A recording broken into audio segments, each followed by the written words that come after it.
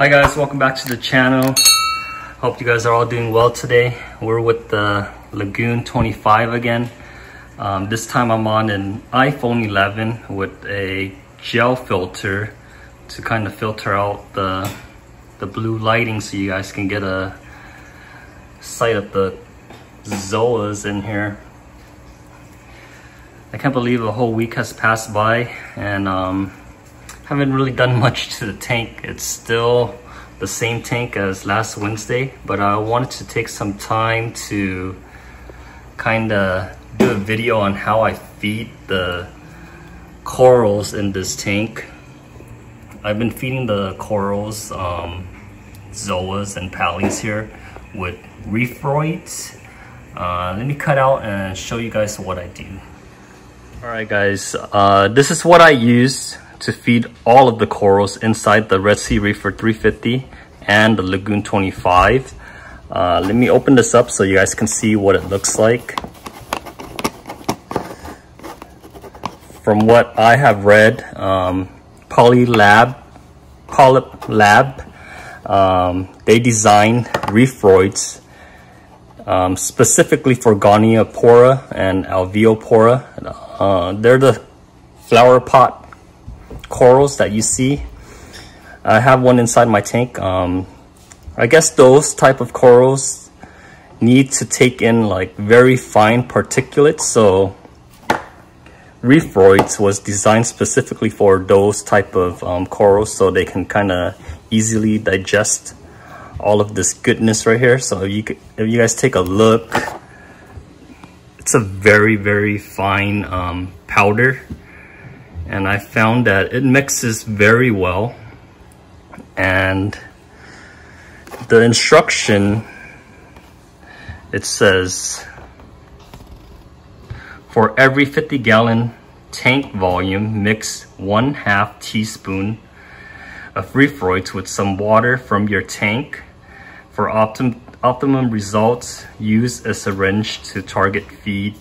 This mixture while the tank circulation is off so this is kind of like broadcast feeding. So for, let's say the, the Red Sea Reefer 350, it's about 75 gallons um, display.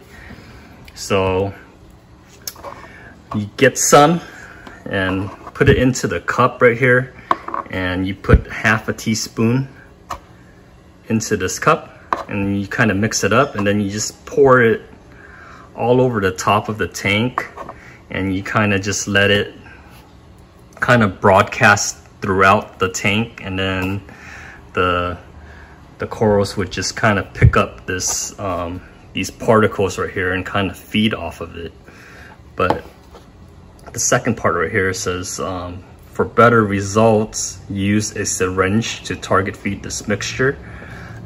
Now when you target feed that mixture is just kind of a light dusting onto the coral itself. But I watched uh, a video from Billy Pipes about a year ago and he kind of smothered um, Reef Roids all over his corals. Um, very, very thick paste.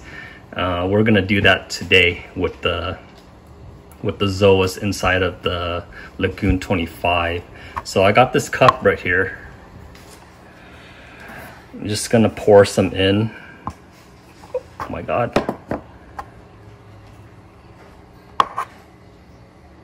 It's about enough to get a thick paste going.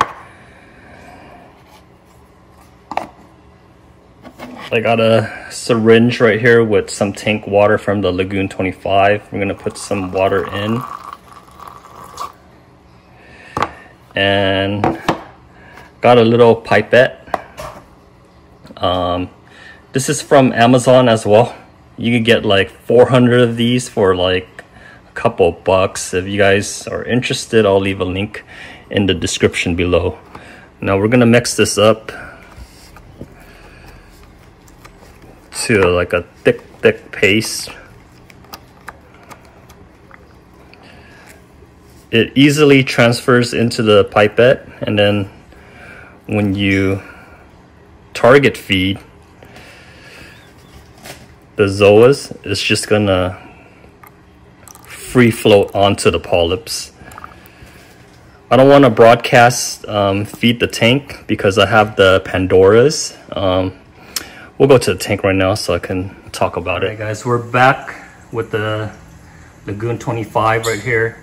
So under the cabinet, I have the controls. This one's not smart like the Red Sea Reefer 350.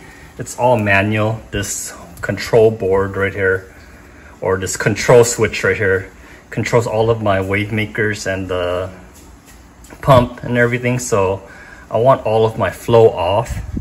So we'll turn off all of the wave makers, the auto top off, the return, and the reactor is back here. Turn off the reactor as well. So everything is at a standstill right now. We'll get a top view of everything. Can't get enough of that. But as you can see, I have a lot of Pandoras down here and I don't want to um, broadcast feed and then feed the Pandoras, I want to target feed the zoas that I want to grow out, which is the top row right here with all of the different varieties. I have enough of the Pandoras, so I don't want to broadcast feed and just feed and get these guys out of control here. So right here, let me get a syringe full of the Reef Roids and you can see how we're going to target feed.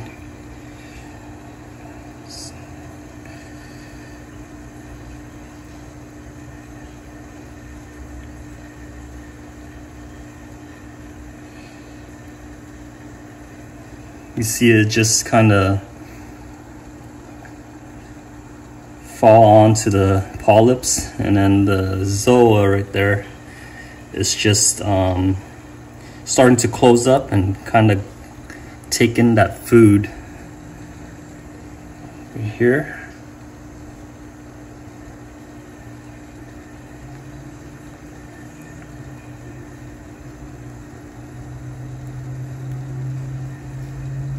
I was told that this is a Jason Fox um, jack-o'-lantern.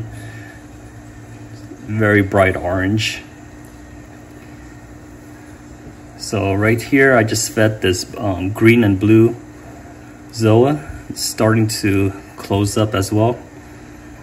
This other chaos right here, very bright.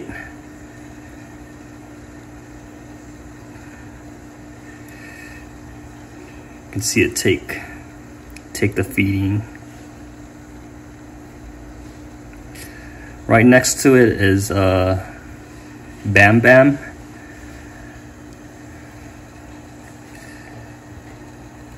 Right here, this purple and green is a Wolverine.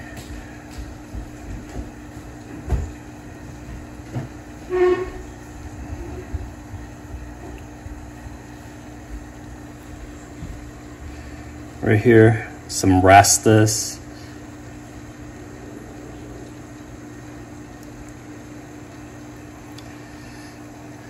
So I used up that whole um, pipe of um, Reef Roids, so we're gonna go get a refill.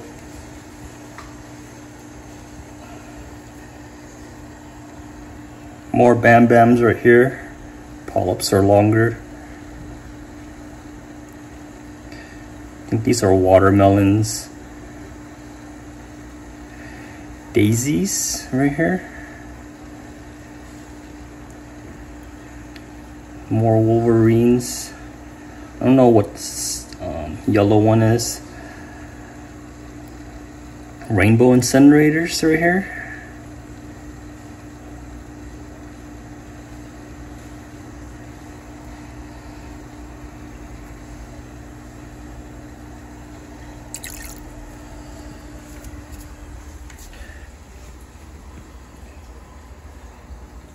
Give you guys a shot of this. I have some um,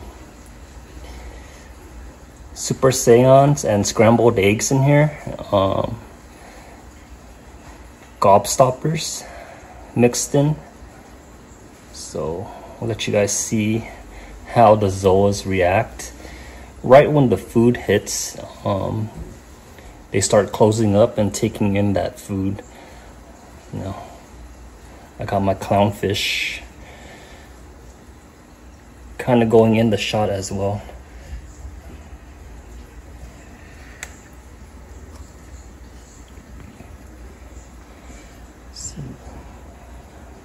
It's uh, Season's Greetings Monocap. More right here. More Wolverines in the back. King Midas right here. It's yellow. Butt Munchers right here. Now I don't want to feed this whole cluster right here. I ordered um, some frag plugs. So I'm going to be fragging back some of this right here to give away. Probably next week for next week's video.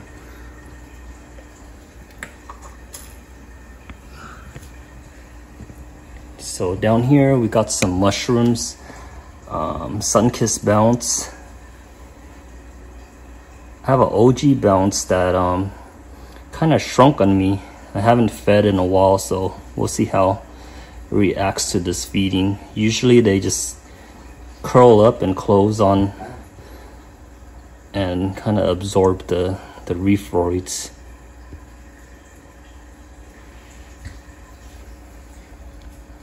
You can see it reacting right there. It's like kind of curling up and closing. Both of them are. Shrimps coming out.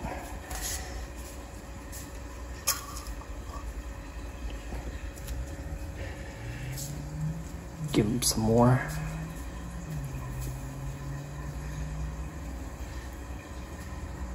Had another bounce back here. And this whole rock right here is just um, fire, forest fire. Forest fire rhodactis.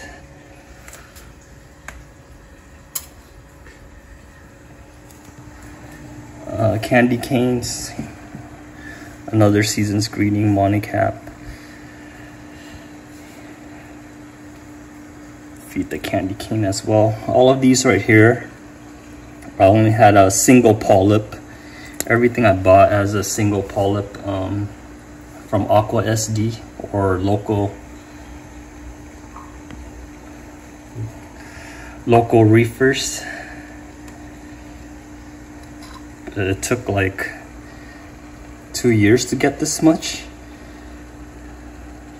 but it's I didn't give it constant attention though.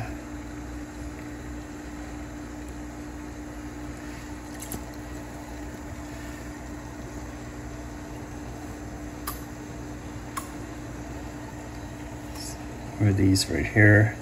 It's like like Sakura Sunrise right here. And over here it's like a something something vampire, I forgot. Give the cloves some.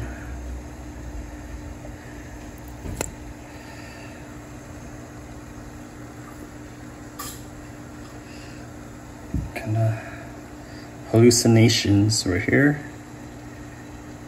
Very slow grower.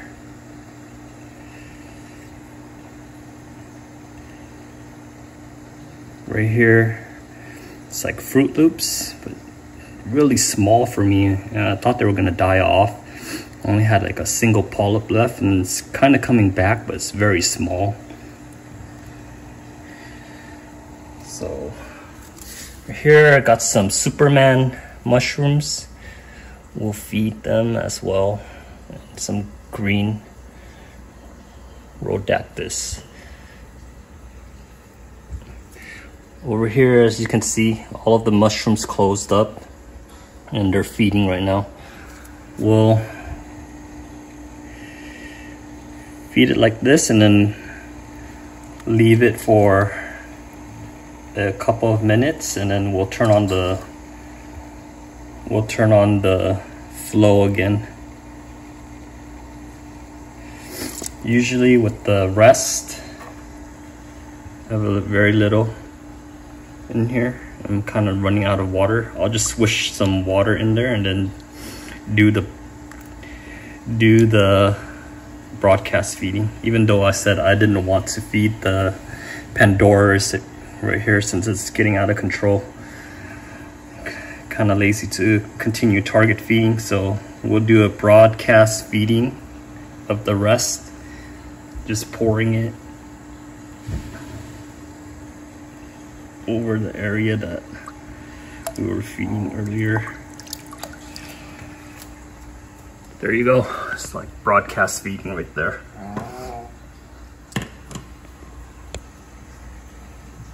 So we'll let it feed and we'll check back in with the growth in the coming weeks.